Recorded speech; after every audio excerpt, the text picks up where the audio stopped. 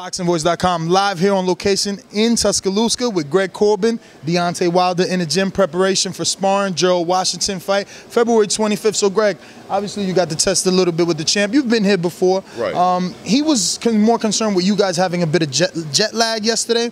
Um, would you say that today there should be none? You know, you've been able to settle into Tuscaloosa. Yeah, all the cobwebs and everything should be out by now, man. We we ready to go. We're gonna get him that work, man, and, and, and help him be the champ. I'm gonna continue to be the champ.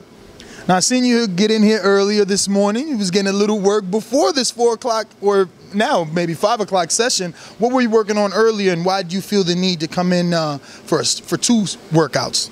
Well, that was for me, man. Uh, trying to work on some things I'm working on because I just come off a fight, uh, 10 rounder, and I won a unanimous decision. But, you know, it was still some things that need to be tweaked. So I try to stay in the gym as much as I can.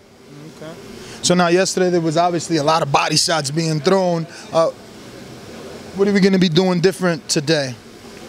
Almost the same thing, just moving, working on trying to get the leg, working on off the leg and working behind the jab.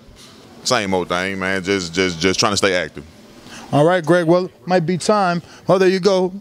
Jay Deas is calling him in. Greg Corbin. Any social media? No, man. No social media. Well, we're gonna give you a shirt. He's gonna be giving us a shirt to give away. All right.